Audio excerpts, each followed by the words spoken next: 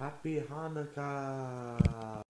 I'm so sorry. I'm gonna have to end this. I'm in my bedroom now, ready to sleep. But um, good night.